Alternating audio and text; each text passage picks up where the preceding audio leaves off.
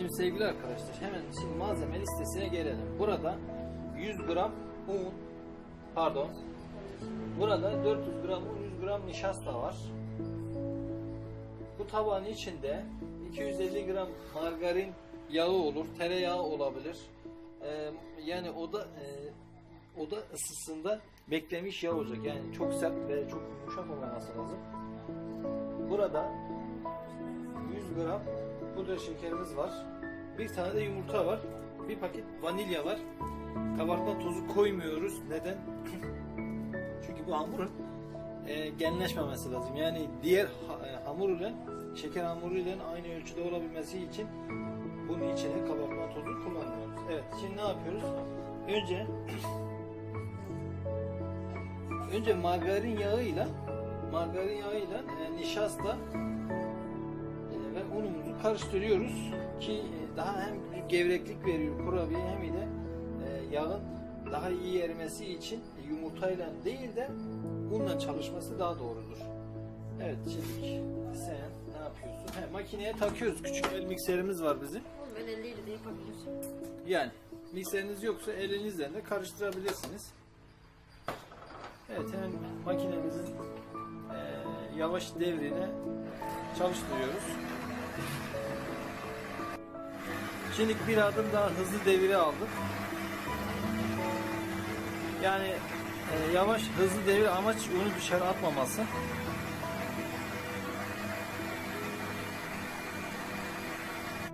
Şimdi makineyi biraz daha hızlandırdık ki biraz daha çabuk karışım karışabilmesi için. Pudra şekerine bir adet yumurtayı eee, yani pudra şekeri biraz daha çabuk erimesi için yumurta da sıvı olduğu için onu biraz daha hızlıca eee, yumuşatıyor, eritiyor. O açıdan ikisini birlikte karıştırıp hamurun içine ilave edeceğiz. Evet arkadaşlar bir paket de vanilya var. Bunu da şimdi hamurumuza ilave ediyoruz. Evet arkadaşlar şimdi hamurumuzu makine yardımıyla karıştırıyoruz.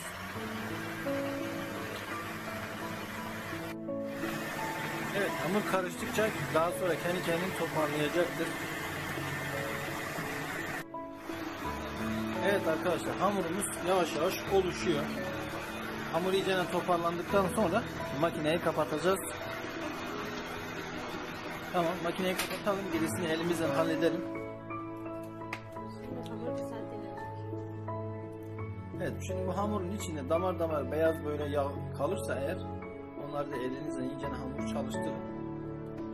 Ee, Daha sonra hamurumuzu biraz dinlendirmeye alacağız. Evet sevgili izleyenler şimdi bu hamurumuz streçe böyle sarıyoruz ki yüzü gözü kurumasın. Ee, bir saat bu şekilde dinlendireceğiz ki hamurumuz biraz kendine gelsin yani biraz daha kendini bırakacak ve yumuşayacak. O zaman işlenmesi, çalışması daha kolay ve daha lezzetli bir hamur haline gelecek. Evet. Ee, kışın dolapta koymanıza gerek yok. Yazın dolaba koyun ki kendini bırakmasın, gevşememesi açısından. Evet şimdi tezgah hamurumuzu tezgahımızın üstüne koyalım. Bir saat sonra gelip bu hamuru açalım. Evet şimdi ne yapıyoruz? Hemen hamurumuzu paketinden açıyoruz. Evet arkadaşlar hamuru aldık. Semra Hanım hamuru kesiyor. Hamuru kestikten sonra hamuru biraz daha ovalıyor. Burada bunu neden yaptığını anlam veremiyorum. Ben olsam direkt nereden açardım. Biraz böyle kendine gelmesi lazım. Biraz daha e, lastiklenmesi gerekiyormuş. Yani onu hissedebiliyorum.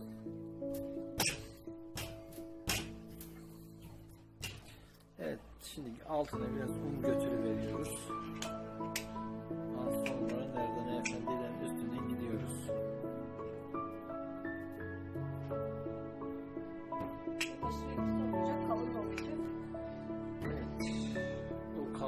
incelik nasıl hesaplayacağız? Göz kararı. Evet arkadaşlar, bir parça çıkarttık. Biberon kalıp bu.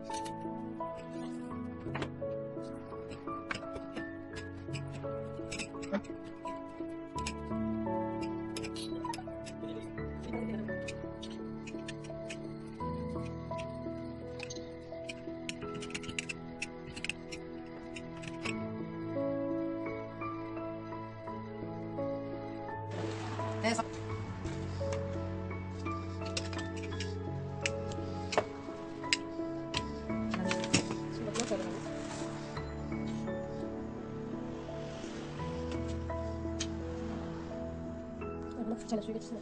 Şekerli biraz değil mi? Çok küçük çok değildir. Dur,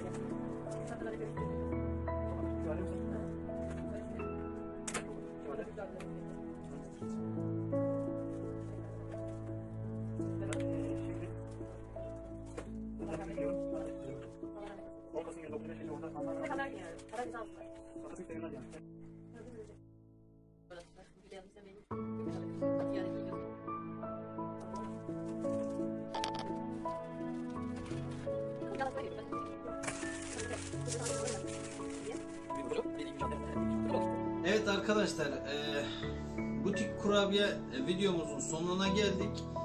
E, böyle video ile yani butik kurabiye ile ilgili birkaç tane daha video yapmayı düşünüyoruz. E, biraz daha farklı teknikleri anlatarak. Evet, e, bu konuyla ilgili aklınıza bir şey takılırsa sorabilirsiniz. Videodan memnun kaldı kalırsanız videomuzu beğenin, videomuzu çevrenizden paylaşabilirsiniz. Kanalımıza abone olup özellikle bildirim kısmını açık tutmayı unutmayın. Siz bildirim kısmını açık tutmazsanız, kanala abone olsanız bile size bildirim gelmez. Yani biz videoyu çektikten sonra size haberiniz haberiniz olmaz. Bildirimleri açık tutmasanız o zil işaretini açık tutmanız gerekiyor. Artı Didim'de e, yani bizim bulduğumuz bölgede yaşayıp böyle bir ürüne ihtiyacı olan vatandaşlarımız varsa da bizimle ilet- e, yani iletişime irtibata geçebilirler. Evet bunu da dedikten sonra kendinize iyi bakın. Hoşça kalın. Bir sonraki videoda görüşmek üzere. Allah'a emanet.